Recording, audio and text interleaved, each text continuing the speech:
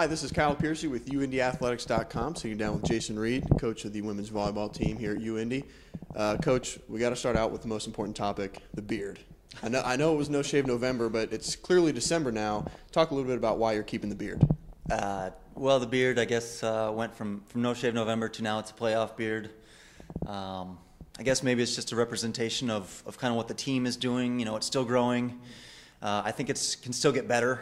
Um, but it's really done a good job and it's been pretty consistent. So we're going to try and move forward with the beard. Yeah, some of us you UIndy here are trying to keep up. Uh, mine's a little bit red, you know, I'm just trying to show that crimson. Um, and, and talk a little bit about kind of segueing right into the streak. Haven't lost since October 26th. Haven't even gone five since November 9th. I mean, 10 game, 10 match winning streak, I should say. What's been the key for the for the Greyhounds? Well, you know, to all kidding aside, I think the consistency has been uh, a big issue. I think that we're we're playing really good volleyball right now. Um, we've been aggressive. We've kind of limited our errors in terms of you know the serve receive game. We're serving real tough and getting our opponents out of system. And I think that we're playing really good defense uh, when we're in system. Uh, I think our speed is really just tough to defend. So. Um, we're doing a nice job of just kind of controlling what we can control, and hopefully we uh, do the same moving forward this weekend. Now break something down for me. You said you talk a lot about serving tough and serving the other team out of their system. Explain a little bit more about what that means. So we talk about that. You know, on any given uh, pass, uh, any offense wants to have two or three hitters depending upon uh, where their setter is in the front row or the back row. And our goal isn't necessarily to to ace somebody. You know, there's some of these servers, and some we'll see this weekend that can really they can bomb it. They can hit it real hard. Um, ours is a little more strategic, where we're trying to take out one option. You know, we're trying to take out maybe two options. And when you do that, that's considered out of system when we take a team out of system, they become a little more predictable. And so that's kind of the game plan. Um, and not just for us, I think that's any team's game plan. We've just been doing it really well. Now, coming off the GLVC championship, the fourth in program history, does the game plan change much heading into the NCAA tournament?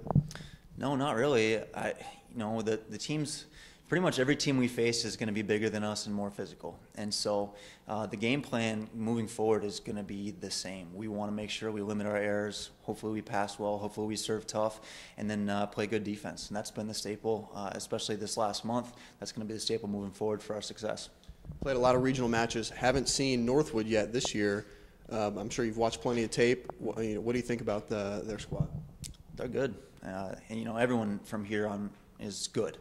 Um, they've got one heck of a, an outside hitter um, who's an All American last year, who we think is going to get a lot of balls. Uh, we want to try and slow her down a little bit.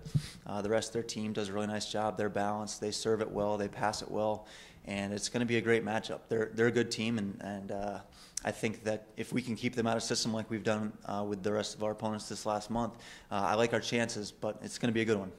What do you think about the rest of the field, the other six teams involved? You know, same thing. I, I think that all the teams involved, uh, both in the GLVC and the GLIAC, are, are tough. And at any given time, um, any of the teams, any of the eight teams that are here can win it. I think um, depends on you know these three days. It's just stringing together three consistent days, three aggressive days. Um, fatigue ends up being a factor at the end of that third day, um, and so it's great. I think there's going to be some good volleyball this weekend up at Grand Valley. Now we'll close with a, a, a pretty important question here. It's a playoff beard, right? So I mean, you're going to grow it until you lose. Now, have you thought about the prospect of winning out and then having a, a pretty stellar beard for next September, or, or is it going to be clean shaven at some point? I mean, at some point, I think we'll have to get rid of the beard. Um, but uh, I mean, if we got to go Duck Dynasty on everybody and just let that thing go, then then we'll have to do it. It's we you don't you don't break uh, don't fix it if it's not broken. We're just going to keep letting it go. It's all about commitment here at UIndy. Thank you, Coach, for your time. As always, follow along, uindyathletics.com, at UIndyathletics on Twitter for all the updates from this tournament.